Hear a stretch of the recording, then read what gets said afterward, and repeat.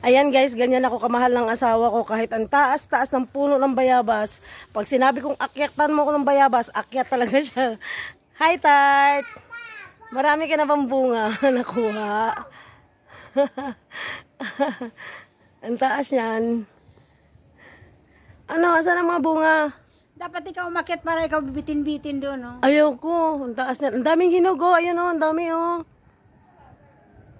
Oh. Pagdating ng nanay niya, wala nang bunga. Pati yung King. Hello, King King.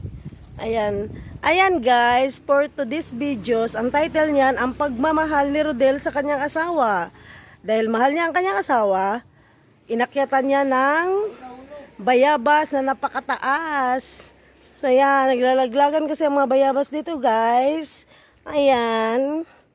Ang dami niyan. Ang nahulog yung isa, oh. Oh. Yan, naglalaglagan lang. So saan? Ayun, oh. Ha? Ayun, oh. Ito? Ayun, oh. Ayun, oh. Isa, oh.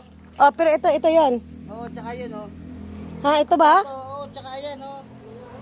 Bakit parang luma na siya? Ha?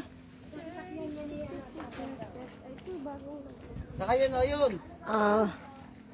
Ito. Ito. Eh, yun lang isa na yun. Iba hindi nakasama. Uh, I love you daw. Ha ha ha. Ayan. Thank you, Tart.